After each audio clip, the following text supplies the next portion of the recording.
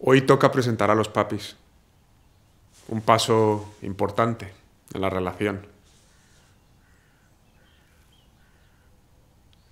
Sí.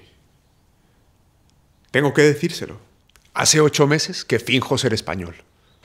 Las Jotas, de puta madre. Gilguero, Julio, jaque mate. Como novio un mierdas. Pero como filólogo, ojito. Ay, qué día tan bonito. Ya, no sé si es el mejor día para venir, pero ¡Qué bonita! Qué ganas tengo de conocerles. te van a encantar. Hostia, no. No, perdona. ¿Qué? Hoy no pueden. ¿Cómo? Pero, pero si es tu cumpleaños. Me llamaron ayer. Mi padre tiene un virus muy raro. Súper contagioso. Tiene náuseas y le duele la cabeza un montón horrible. No puede ni ver la luz. Pero como no me has dicho nada, amor. Ya. Es que me dio tanta angustia que mi mente lo borró por completo. Ya. ¿Y, y, y si les saludamos a través de la ventana? No, no es una buena idea. Vámonos. Ya volveremos. Mm, vale. Jo, pero qué lástima, es que nos ha costado muchísimo coincidir. Siempre están fuera de viaje.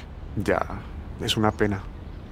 Porque mi madre hace un cocido madrileño que está que te cagas.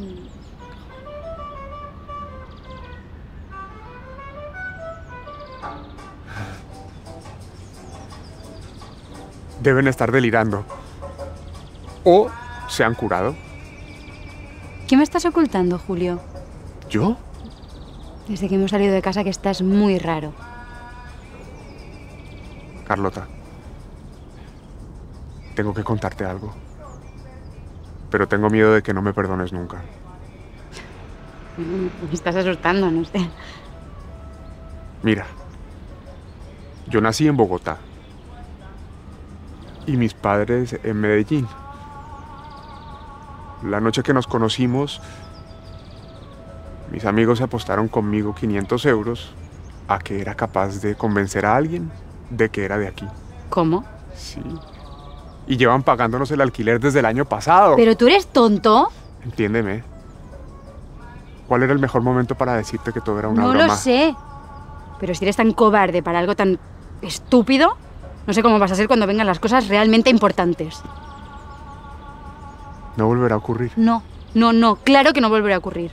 Porque esto se ha acabado, Julio.